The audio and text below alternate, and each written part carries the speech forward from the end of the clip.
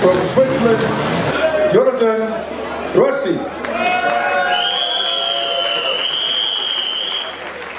And the winner is from Italy, and his name is Guido Conforti.